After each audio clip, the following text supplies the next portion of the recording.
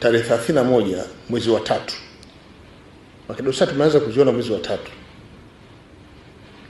tarehe 31 mwezi wa tatu kupitia vocha 2430 ililipa shilingi milioni mia mbili na hamsini na moja kama malipo ya kazi maalum. Haijaelezwa ni kazi gani. Milioni mia mbili hamsini na moja na laki tatu zimelipwa kwa ajili ya kazi maalum.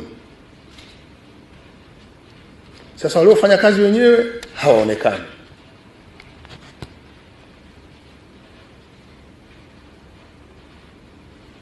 Hebu tuangalie kwa siku, wewe una kazi maalum ya kujilipa posho milioni mia mbili hamsini na moja na laki tatu ni ipi? Kwa, kwa, kwa hali ya kawaida, nyie wote ni watumishi wa umma. Hizo kazi zenu mlizopewa za kusimamia, kuandika, mapeleka huko, kwenda kukagua mahali humu ndani ya wizara,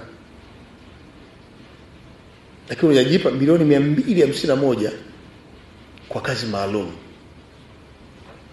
Labda makatibu wakuu mtatusaidia kutuambia kazi gani zetu mlizonazo za kujilipa milioni mia mbili hamsini na moja kwa siku hii moja. Hiyo ni moja. Tarehe thelathini na moja hiyo hiyo kupitia vocha ishirini na nne thelathini na tatu mli- mli- mlijilipa milioni mia moja tisini na nane na laki nane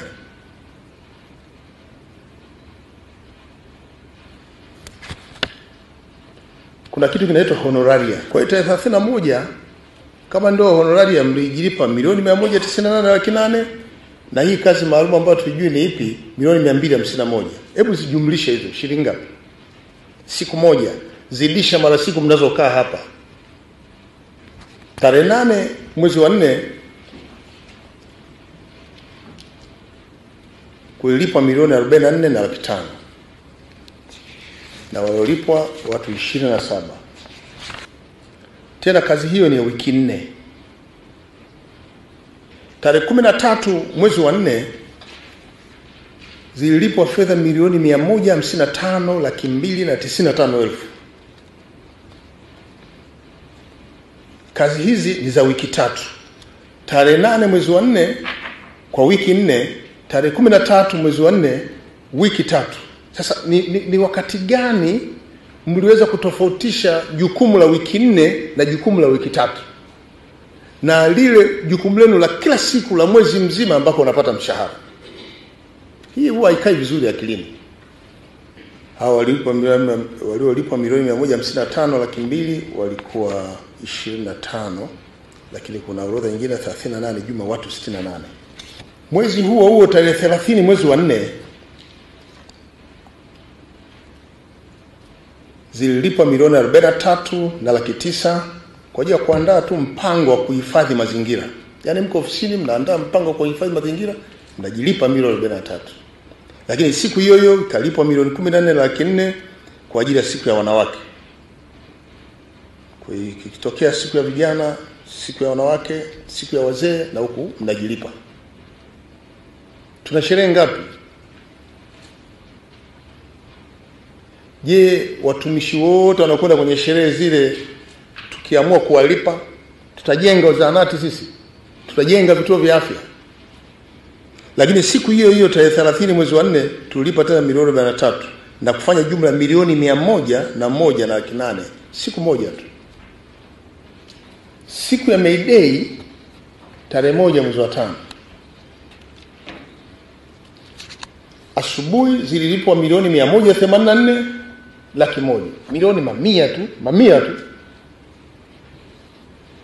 alafu mchana zikalipwa milioni mia mbili sitini na nne. Jumla milioni mia tatu. Yes, hii tarehe moja. Milioni mia moja themanini na nne milioni mia mbili sitini na nne kama milioni mia nne plus. Siku moja. Tena siku ya May isi si tuko Mwanza tunasherekea May huku nyuma watu wako ofisini. Siku ya wafanyakazi, public holiday. Nyie mko huku ndani mmelipana asubuhi milioni 184 laki moja mchana milioni 264 tulitegemea siku ya Mayday tungeukuta au Jamhuri au Mwanza unapewa tuzo yako kwa kazi mzuri siku ya Mayday, lakini nyie mna tuzo zenu mu ndani. Tarehe tatu yake sasa zimetumika milioni mia moja arobaini na sita na laki tano kwa ajili ya kuandika mpango wa kazi wa manunuzi. Yaani nyie mmekaa mnasema tunataka kuandika mpango kazi wa manunuzi, mnajilipa milioni mia moja na arobaini na sita sehemu ya kazi yenu ni sehemu ya kazi yenu, au sio sehemu ya kazi yenu kuandika mpango wa manunuzi ya kazi? Na kama sio kazi yenu, nani aliwaletea kazi hiyo hapa kufanya kazi hiyo, kama nyie sio wahusika wa hilo jambo? Kwani usingepeleka TAMISEMI huko? Kwani usingepeleka mambo ya ndani huko? Nani alileta hapa? Sasa maswali haya mjiulize wenyewe. Lakini kama ni jukumu lenu kuandika mpango, kuandika tu mpango wa manunuzi, halafu unajilipa posho milioni mia moja arobaini na sita laki tano, tutafika? Kuna orodha ya waliolipwa watu mia moja ishirini na tano yaani kazi ilikuwa inaandikwa na watu mia moja ishirini na tano na majina yapo hapa. Haya, orodha ndefu kabisa, tena sio majina vifupi fupi, sio wakina nani hawa. Kuna GDD, EFD, IAU, AHRMD, FISMD, hakuna majina, ni hivyo vidudedude. Na mimi hapa ningeandikwa hapa WM, si ndio? eh? Ndio maana yake, si vyeo hivi, si vyeo. Kwani usiandike jina la mlipwaji? Nini imekuogopesha wewe kuandika jina la mpokeaji fedha ukaandika cheo tu na ukathibitisha malipo? Kwa nini? Tarehe tatu mwezi wa tano zimetumika milioni mia moja sabini na moja na laki mbili kuandaa nyaraka za bunge. Kwani nini? si wakati wa kwenda bungeni umefika? Kwani msimwandalie waziri nyaraka? Kwa hiyo kuandaa taarifa ya kumpa waziri aende akasome, mmelipana milioni mia moja sabini na moja laki mbili.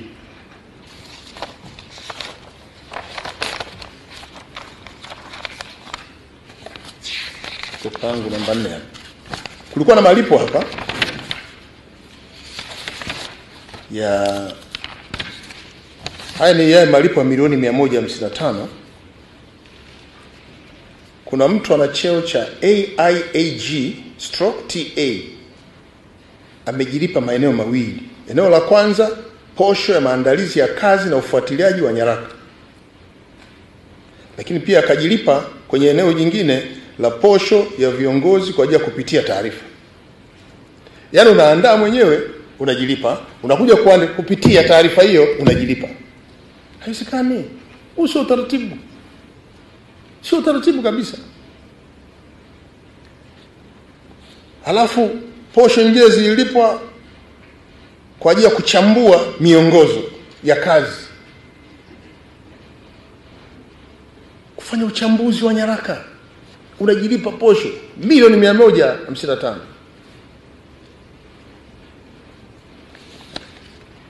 Kazi nyingine, kazi ya kuratibu zoezi la ukaguzi, kuratibu zoezi la ukaguzi unajilipa na posho. Kazi nyingine, uandishi wa taarifa ya ukaguzi, yaani hii kazi ya ukaguzi hii imelipa posho kwenye maeneo manne. Kazi ya kwanza kuipitia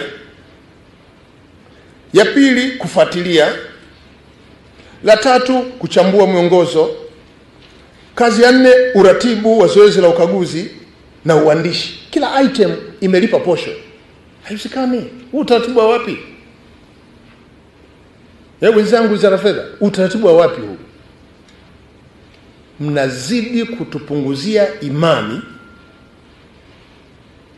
ya kwamba kama kweli fedha unayoikusanya kule chini inakuja hapa inatunzwa yote. Sijaja kwenye eneo la kuhamisha mafungu kutoka fungu A kwenda fungu B, lakini sijaja na utaratibu mlionao wa kutoa fedha hapa, mnazitanguliza mbele mbele kwa mbele kwenda Morogoro, alafu mnazifuata huko huko.